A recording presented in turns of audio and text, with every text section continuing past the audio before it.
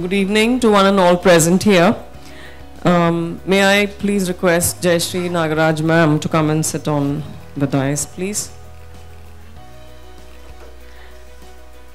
So um, today we, we will spark a conversation between these experts. I mean, the, all of these, who, all the experts are going to be sitting here um, from the industry and the thought leaders who are present in the audience on hygiene and infection prevention, COVID safe, to provide a COVID safe hospitality. Um, let me introduce uh, the experts to you. This is Mrs. Jayashree Nagaraj. Ma'am is the founder, president, chairperson, and the force behind the Professional Housekeepers Association. Has over three decades of rich experience in the hospitality industry. She started her career with the Welcome Group School of Management. She's worked with SASH in Group of Management um, Consultancy as their Senior Vice President of Operations and worked with ITC Welcome Group of Hotels, Choice Hotels, Raheja Group of Hotels, Best Western Premier, and several others. Currently, Ms. Jayashree is involved in the strategic planning and development of the Professional Housekeepers Association and the PHA Yuva. Uh, welcome to the panel, ma'am. May I call upon Ms. Jyoti?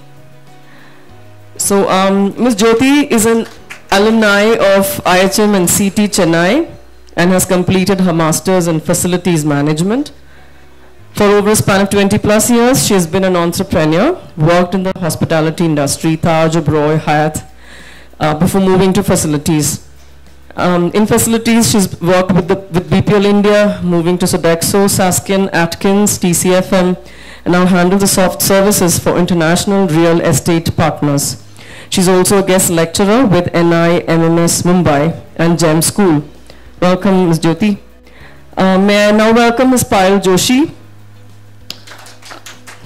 Ms. Payal is currently the executive housekeeper for the pre-opening twin hotels complex Hilton and Hilton Garden in Bengaluru Embassy Manyata Business Park. She has more than 18 years of work experience in housekeeping, front office and training with India's leading hotel chains, namely Hilton, Hyatt, you name it, it's all there. I mean, there, are too many. Taj, ITC Welcome Group, Royal Orchids, and Fortune Hotels. I think there's nothing left for you, Payal, now. Yeah, she's a hotel management graduate from Lady Amrit Bai Daga College, Nagpur, and she holds a diploma in training and development from the Indian Society for Training and Development, New Delhi. She's a certified housekeeping instructor from the American Hotel and Lodging Association. Um, she's a lifetime member of Professional Housekeepers Association since 2015. I'm sorry, I forgot to mention that Jyoti um, is also a proud life member of Professional Housekeepers Association since six years. Um, welcome, uh. May I now um, quickly welcome Dr. D.P. Sudhagar. He's currently um, serving as an associate professor at Garden City University, Bangalore. He is also the director international internal quality uh, I'm sorry, director of internal quality assurance cell, dean research and innovation council, and CEO um, GCU incubation center, uh, and uh, vice president learning and development of PHA Karnataka chapter. Dr. Sudhagar also worked in numerous managerial positions, having successfully managed the F&B outlets, including the largest banqueting venue generating revenue over crores and um, handling guests from 195 countries, countries with the Raintree Hotels, Taj Hotel Resorts and Palaces in particular, Vivanta by Taj Connemara.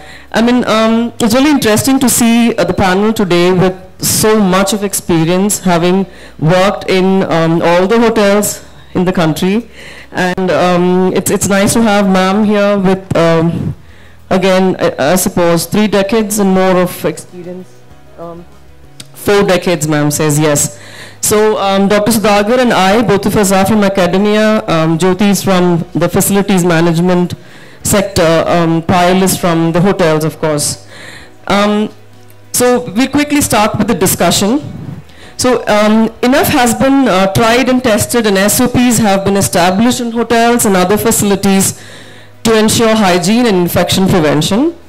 Today we would like to discuss few points that probably also needs equal amount of focus and attention. So we are not really going to be talking about what hotels have been doing um, all through these two and a half years of uh, pandemic. But we'd like to touch upon a couple of topics that are closely related to, of course, the main topic given to us, which is, uh, which is um, infection prevention and hygiene. BCP managers and public safety professionals are familiar with the concept of business continuity, also known as continuity of operations. We need to look at what is business continuity and how has it evolved in the era of COVID-19. Um, I would like Jyoti to take up uh, you know, this discussion point and um, tell us how BCP um, is implemented or what is it about now? Thank you, Sandhya. So uh, BCP started somewhere when the ISO certifications started. So if people who are familiar with ISO 14001, 27001, that was the uh, uh, beginning of writing a BCP document. And it basically started with um, properties, corporates, hotels, uh, everyone writing about the then what they thought could be a risk, a hazard in the operations of whatever they were doing. So if it was a corporate working, it was uh, the the corporate was talking about say what happens if a fire happens, what happens if there's a bomb blast or there's a bomb threat call or if there is no water supply uh, because that was the advent when we started using packaged water. What happens if the supplier doesn't come? So there was uh, a team which was formed uh, with uh, basically the quality management uh, head uh, heading that particular team and it had pulled in uh, people from HR, from operations, from the businesses to think and act upon what could be an emergency, how should they rate it, and what would be the backup plan if something ever happened. And with that started a BCP plan. Over the years, it evolved from uh, bomb threats and uh, fires which had ha happened across the world to the situation when I, if I'm not mistaken, even in 2006 when I wrote uh, BCP for SASKIN, I did mention, I took a mention of a pandemic, an epidemic, not a pandemic, an epidemic. But then also it was only very, very localized. It was never on the scale of what COVID came. So when COVID entered India, it was sometime in January when three cases were detected by three students who had come from China to Kerala and that is when they started hearing about COVID and it started spreading.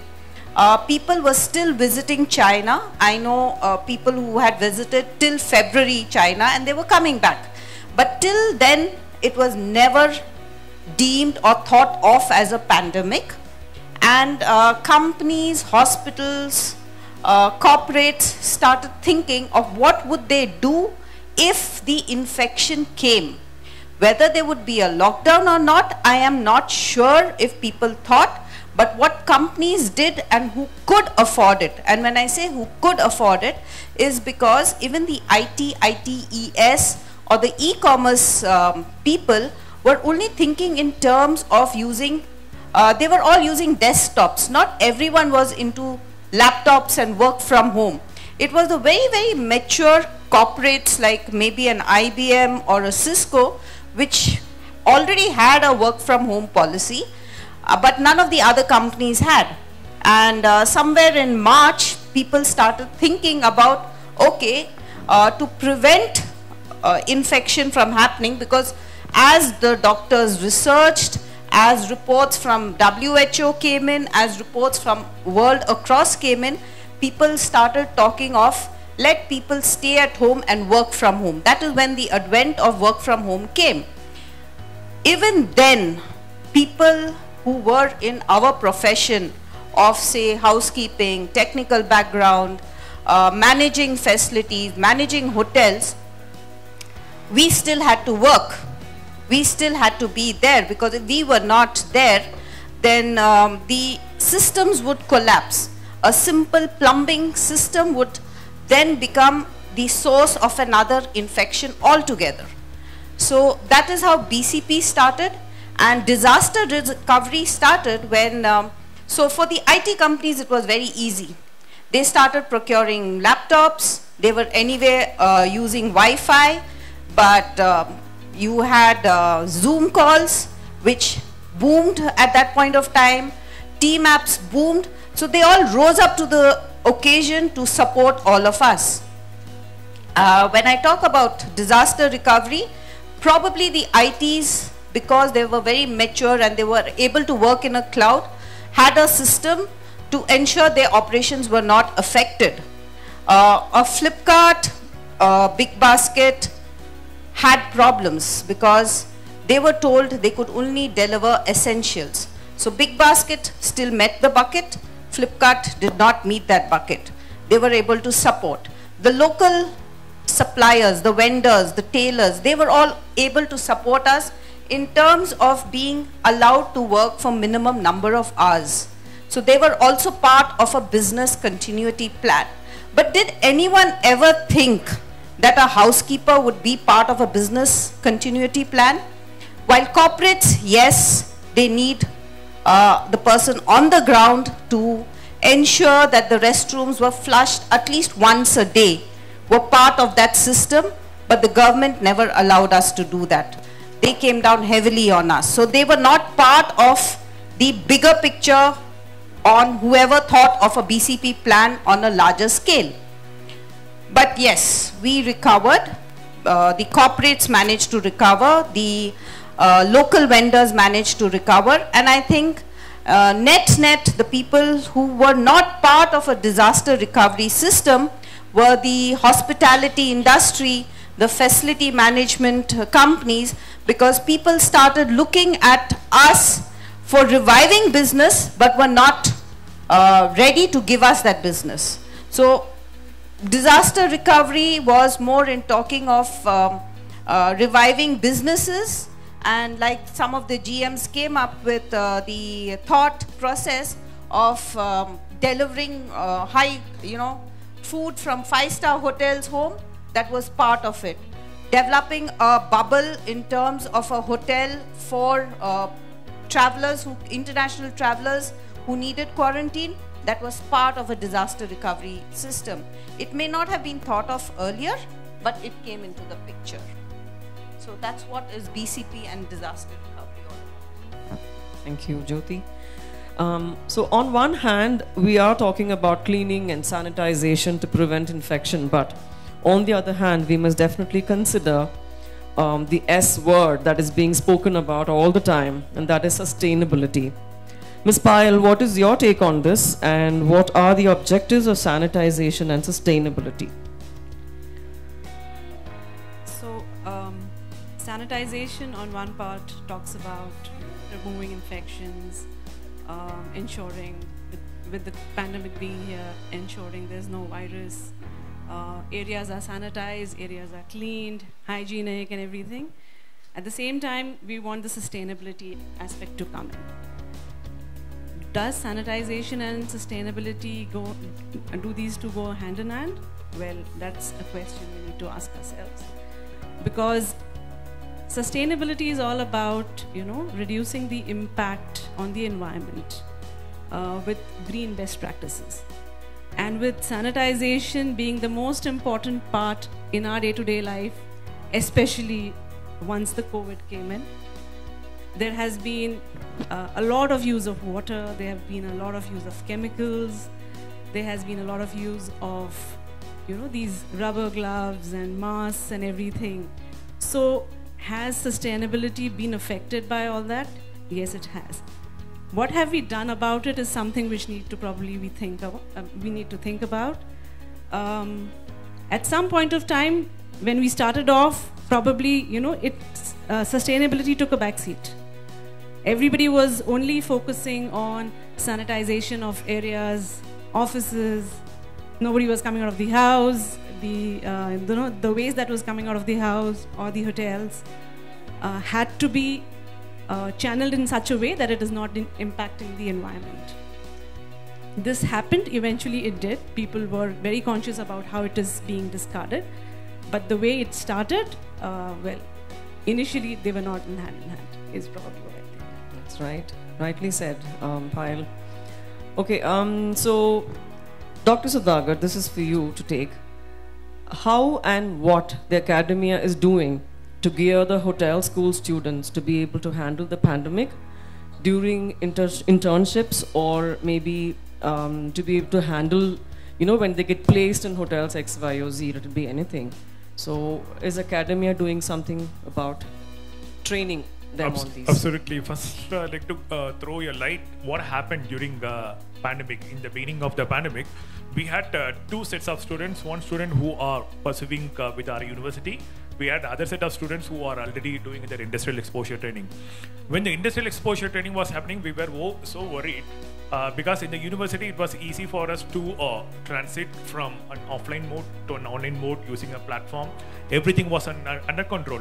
But we had a worry like uh, what the hotels may be doing it whether our industrial exposure training uh, students are going to be sent back to the colleges what will be the uh, future. But fortunately i must say almost all the best brands they have retained the students they have provided three options for the students Number one, they can go back to their home if it is required if they are not comfortable. Number two, they have been provided with an opportunity to work, stay in the hotel, enjoy the five-star luxury. Number three, they invested more, most on training the students to handle the pandemic situation in the most effective manner. So during this scenario, our students, apart from learning the basic operations, they also have learned advanced cleaning, advanced processes, advanced uh, uh, uh, usage of equipments, how to handle their most complicated situations. So that came out as a blessing for us in disguise. So our students who had worked during the pandemic pe- period, they have literally learned apart from the basic operations of the hotel in terms of how to do a crisis management. So after listening to this, we in the university apart from teaching the regular curriculum we have introduced how our students can be taught about uh, what's happening in the hotel during the pandemic. I must uh, thank uh, our professional housekeepers association and phA yuva. We have conducted a lot of webinars. Our students greatly benefited from, the webinars and these webinars were actually like uh, spearheaded by the industry leaders which actually helped us to get to understand what's happening in the industry during the pandemic and what sort of revision needs to be done in the curriculum not just during the pandemic but in the future also. So it has provided a great opportunity for us to understand what's happening in the industry and how that could be included in the curriculum probably pandemic may come back after two years or three years or some other disaster also may be coming in. So we have introduced a lot of uh, curriculum enhancement in terms of not just covering uh, basic operations but also understanding the advanced cleaning e- uh, equipments process how to handle various uh, situations crisis management that has actually helped the students to have better career options uh, even in hotel industry. Today our students if they want to work in hospitals they have the skills they have the knowledge, they have the attitude, and they have the standards what is required even for uh, working in a hospital setting, not just in a hotel setting. So in this way, I would feel that uh, it's a great blessing we have include, uh, included in the curriculum. I'm sure as changes happening in the industry, that's going to be uh, uh, happening in our academia also, so that both the industry and academia can travel together to ensure that whatever may be the exigencies, we'll able to handle more effectively and prosper. Thank you, Dr. Sudhakar. And I think I must mention that at Ramaiah University, what we did was we introduced a course called Life Skills, where, you know, we had a lot of students coming back and saying because ma'am, we're too scared to work in hotels during COVID because they would ask us to serve guests inside the rooms and clean the rooms and all of that. So I think, um, you know, the technical part is good enough, like you were mentioning, but I think some kind of a attitudinal training, behavioral Absolutely. training needs to be given to them. Telling them, don't be scared about these things, but the hotel takes good care. Good you know, care give them it. all kinds of um, uh, P, I mean PPEs and everything, and you know everything is safe to be you know working there. Um, okay, thank you, and thank you for having shared that with us. Um, ma'am, just to ask you a question. So, um, what have we as an association, what, what was our contribution during this COVID time? Now, Dr. Sudhakar did mention that, you know, we had number of webinars, um, you know, to, to share knowledge with, you know, the industry and the experts and everybody else. So, anything else that you can think about? Fact, uh, without even uh, knowing, uh, you know, this kind of a disaster would happen from past three years. In 2015, when we have uh, started PHA, that time itself our uh, biggest mantra was to synergize between the academia and the industry. That was one of the main mantras of PHA. That is how we launched PHA Yuva. Uh, soon after two years, we launched PHA as a national body. And uh, I'm so proud to say that today, 135 we like members, like soldiers, like warriors, we were together, you know, uh, able to face this uh, disaster, this pandemic of the country, irrespective of whether it is hospitality or healthcare or facilities or academy or aviation. Uh, no, we, we came together. You know, the uh, sad part is many of our life members lost the job. Many of us are relocated, and uh, many of us uh, us had a cultural shock how to take up these new challenges. But uh, fortunately, this platform of PHA, with the support of industry leaders, all the top management, and everyone, you know, today we can uh, confidently say that any challenges, any contingency plan, or any housekeeping auditor, or any training needs required for the industry, PHA is confident enough to back them up and be with uh, every sector to, uh, as an assistant, as an associate, we are going to be with everyone to face the challenges and to uplift the issues of the country. Thank you, ma'am. It's a lot of contribution that you and the association, all of That us have made. that is why it is very important now as we have had a, a general managers roundtable conference and now it is very evident that there is a wide gap between the top management and the uh, you know service providers and in between the mid level managers there is a wide gap so there is a lot of scope which i uh, i keep saying this to all uh, right from our uh, business associate members our associate support partners everybody now to take use of the platform like PHA to reach the top management. And again, we in turn can associate with the top management and give an excellent, uh, unified, standardized solution to all our members. And we always used to, you know, see in the platform that when um, an executive housekeeper or somebody had a concern over what kind of chemical to use for disinfection and the others, we had experienced people talking about what is best for what kind of, uh, you know, surface and all of that. And uh, so, since we have vendors in the association, I think they also got an idea of what is the real requirement of the industry during these, um, you know, pandemic period. And I think it really helped everybody in the in the in the group. Certainly, and all Yeah. our vendor members are so kind and so uh, thirsty and so supportive. Uh, anything I, we would uh, go back to them and say that this is what we require, and they are ready to uh, customize it, manufacture it, and serve, service to our members.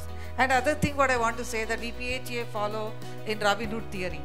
You know, we are we don't have only branded uh, executive housekeepers as our members. Okay. We also have non-branded executive housekeepers as our members.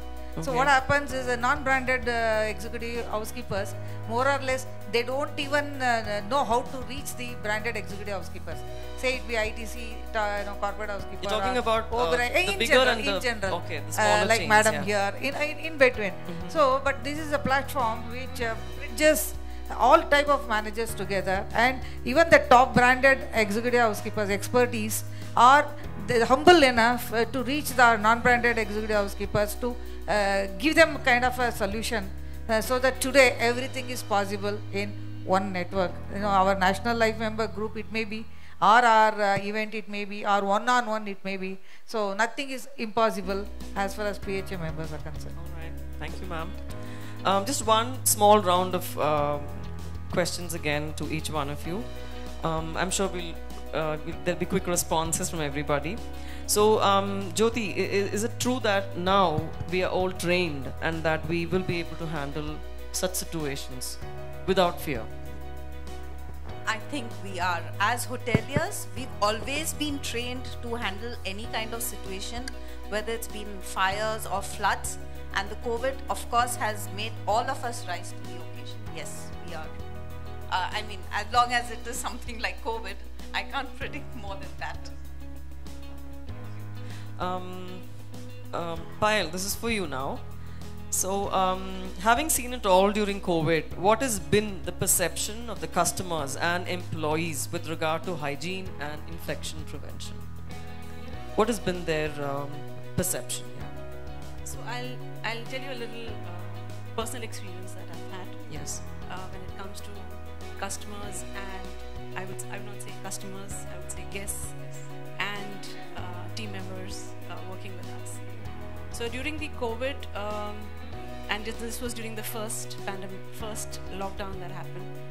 I was one of the very few team members who stayed in the hotel, and for 45 days we were in the hotel. Um, obviously taking care of all the guests who were in the hotel and the team members who were there. And as far as possible, the ones who were outside were sent on leave, ensuring, you know, their leaves are taken care of, they don't lose their salary and all.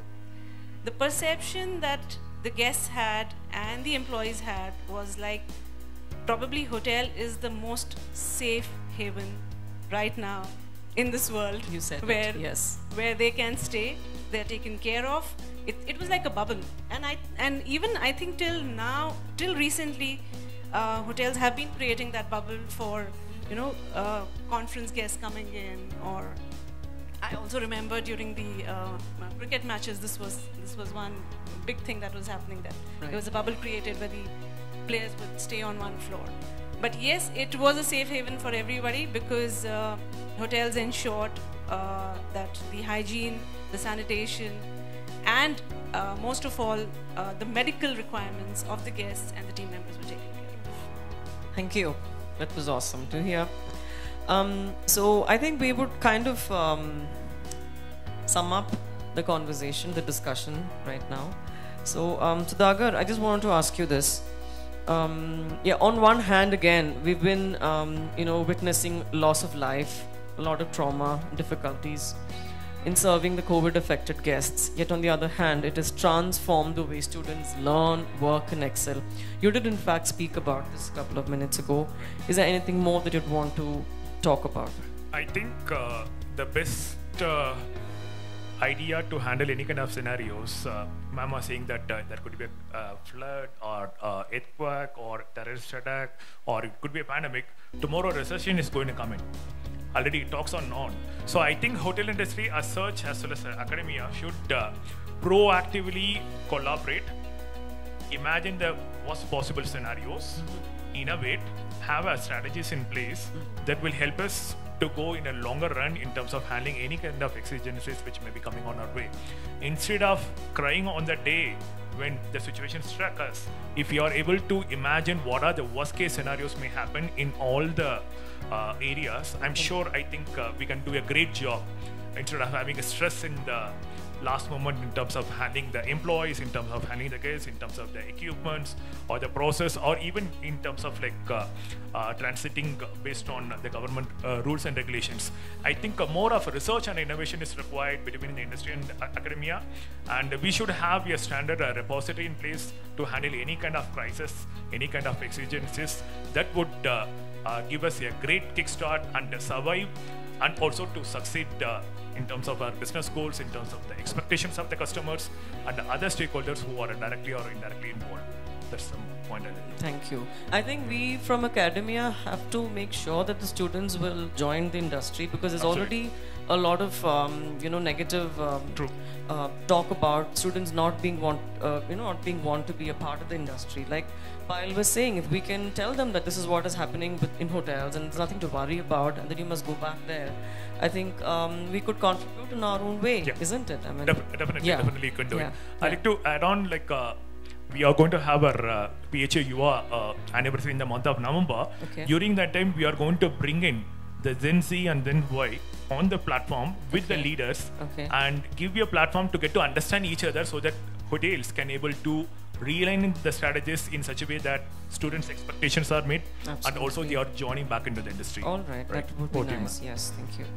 just wanted to add one thing that Yeah. you know uh, with the last two years being so difficult for the students uh, they've really not had the exposure of you know practically being in a hotel and uh, and and I have recently opened a hotel, a twin hotel, and we have recruited a lot of freshers. Um, for them, directly getting into that space and being there was very difficult. Absolutely. So um, I un- I completely understand, and I do not blame uh, you know anybody here, not even the students, not us, or not even the institutes. But it was just a situation that was so bad. Right. So probably going further, pr- these the students probably need to be made aware of certain situations like these that would come up in future, Alright. and get them trained beforehand, Okay. so that when they actually join the industry, they don't run away. Okay, good one. Okay, um, thank you. Um, I'm sorry. Are there any questions from the audience that the experts Answer. You have any questions, please? Sorry. Anybody?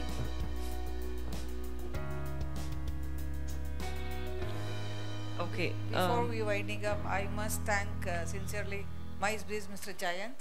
During this uh, very auspicious week, International Hospital Housekeepers Week, he has made all of us uh, to be together in this uh, under one roof which never happened so far. So far, we the uh, life members got together during this week. So, blessing in disguise. Uh, he has uh, held the event like this during this uh, International uh, Housekeepers Week. I sincerely wish each one of you uh, interna- International Hospitality Housekeepers Week, and it's very nice of MICEbz to give us a platform like this to celebrate. Thank you. Um, thanks to the panel members, the experts, I would say. Dr. Sudhagar, thank you. Payal, thank you. Ma'am, thanks. And um, Jyoti, for sure, thank you so much.